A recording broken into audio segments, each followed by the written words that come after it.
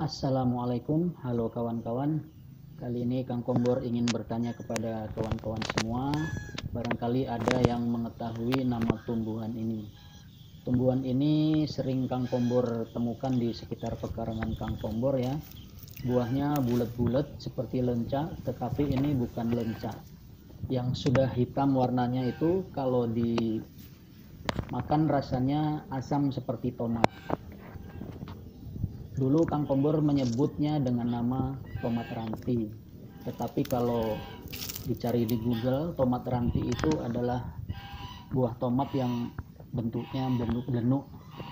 Jadi ini mestinya bukan tomat ranti namanya. Oke, kalau ada kawan-kawan yang tahu namanya, tolong infokan kepada Kang Kombor.